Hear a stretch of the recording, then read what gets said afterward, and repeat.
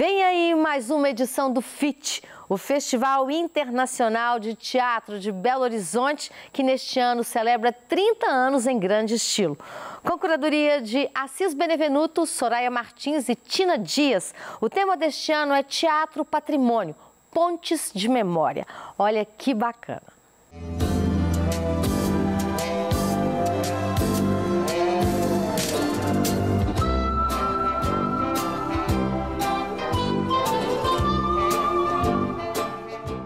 Festival Internacional de Teatro, Palco e Rua. É um festival que acontece desde 94 e já é estabelecido em lei municipal a realização dele. Ele é bienal, ele foi criado a partir de uma demanda da sociedade civil, assim, é, o Grupo Galpão iniciou junto com o Teatro Francisco Nunes na época, em 94, e desde lá ele vem se consolidando, né, já está consolidado no calendário cultural da cidade.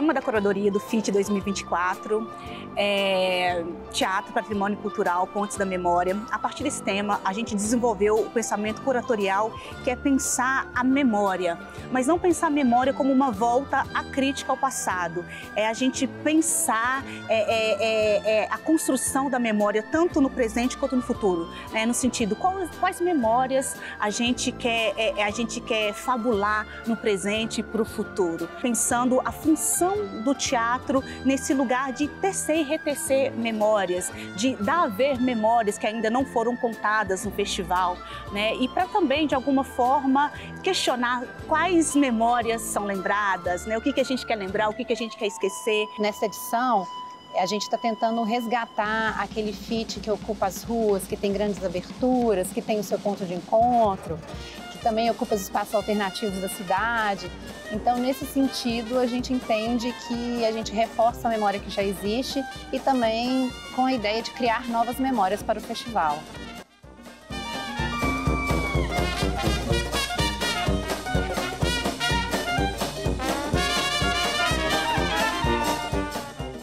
Além dos espetáculos, é, as ações afirmativas, acho que em qualquer festival, e no Festival Internacional de Teatro, Palco Rua de Belo Horizonte, elas são muito potentes, muito vivas. Né? Então, nesse sentido, é, a gente tem uma, uma programação extensa é, de oficinas, de residências teatrais, é, lançamentos de livro. Então, a gente tem um pouquinho né, é, de, de muitas coisas para a gente apimentar mais, dar mais sabor, dar mais potência, vida, afeto para o festival.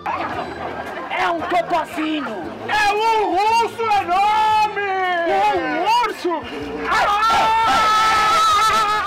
Eu sou integrante do Grupo Oficina Multimédia e a gente está muito feliz de participar dessa edição do FIT, uma edição comemorativa que vem trazer esse tema tão importante para a memória do teatro, né, que é justamente a memória do teatro.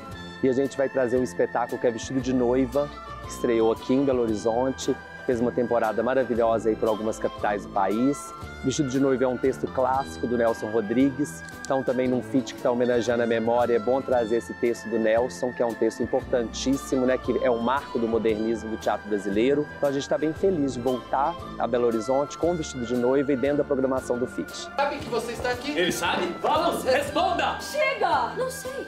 Teatro é cultura, né? E teatro reflete o que a gente também vê no nosso contexto social, né? O teatro é feito por pessoas e pessoas são seres históricos e sociais. Teatro é forma de resistência, teatro é forma de fabulação de possibilidades de existências, de críticas, de denúncia, é, é, de gozo. É, enfim, eu acho que o teatro é, é, ele, ele possibilita ali partilhas de sensibilidades é, que eu acho muito importante para a formação humana. De onde é que tu vem? De Varsóvia! Os polacos me expulsaram, pai. Pois eu aqui. Foram os russos que me expulsaram. FIT ele, ele entrou muito é, nessa jornada, vamos dizer assim, de fortalecer também é, até o teatro como patrimônio material, mas os, os, espetáculos locais que acontecem aqui, os espaços culturais de Belo Horizonte, sejam da sociedade civil, sejam, sejam públicos, é, e os coletivos e grupos locais. É muito bom a cidade, dentro de um festival que tem esse nome de internacional e nacional, trazer com tanta força a produção local. Então eu acho que vale a pena e tomara que a cidade de BH abrace mais essa edição do FIT, que a gente possa comemorar a importância do teatro na nossa sociedade.